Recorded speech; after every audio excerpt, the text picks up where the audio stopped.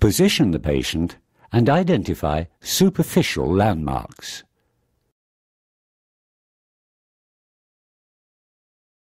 Place the ultrasound probe on the skin.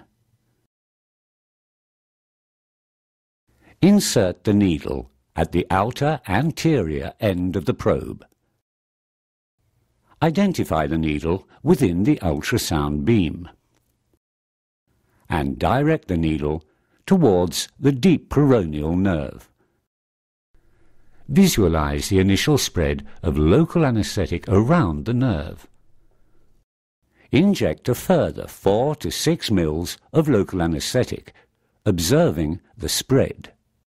Injection and spread of local anesthetic should be close to or surrounding the nerve. When the nerve cannot be seen, a periarterial infiltration can be performed.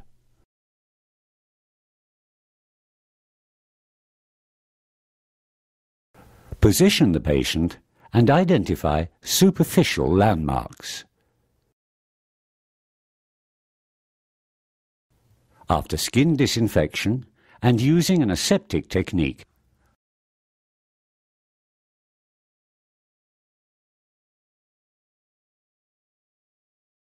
Place the ultrasound probe. Align, rotate and tilt the probe to obtain the best view of the deep peroneal nerve. Insert the needle at the outer posterior end of the probe.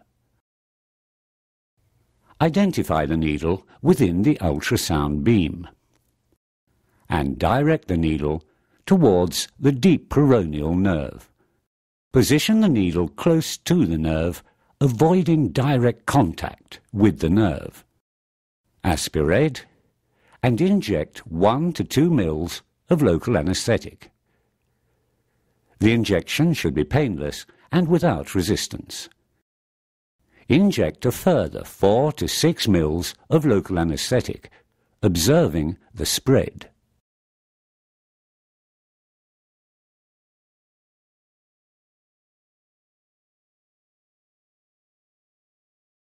Reposition the needle if the spread is not around or close to the nerve.